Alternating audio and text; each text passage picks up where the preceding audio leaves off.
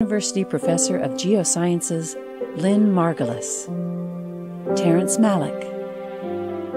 Chelsea Green Publishing, The Politics and Practice of Sustainable Living, the Hardy Lane Foundation,